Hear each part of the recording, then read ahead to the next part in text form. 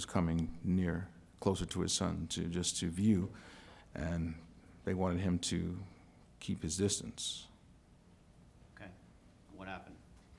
Uh, One of the officers uh, raised her voice to him for him to stay back,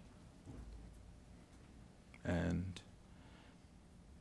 he told her to shut up. And He cursed at her? yes, Okay. And what was, what happened then? uh, two officers, uh, they approached him uh, aggressively, and they put handcuffs on him.